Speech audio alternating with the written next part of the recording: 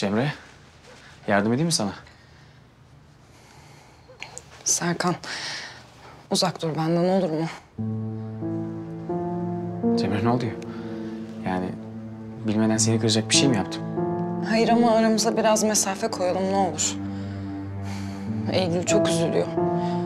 Bugün aranızda bir şey var mı diye sordu bana. O hala seni seviyor Serkan. Sen onun sevgilisisin. Ne olur uzak dur benden tamam mı? Değilim Cemre.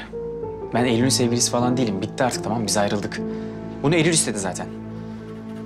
Cemre, ben senden uzaklaşmak falan istemiyorum. Hem sen de bana karşı bir şey hissediyorsun. Biliyorum bunu.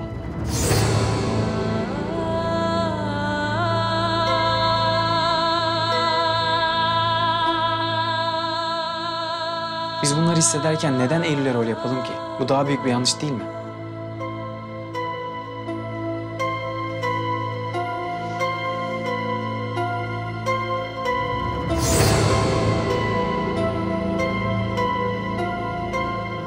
Cemre?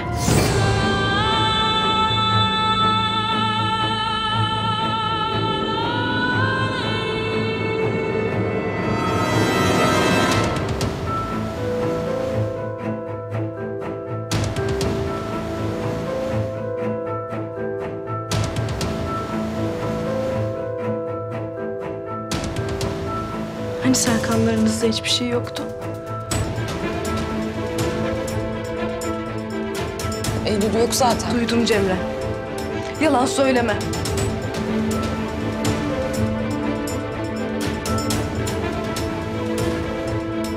Niye kandırdın beni ha? Niye kandırdın beni? Eylül dur bekle.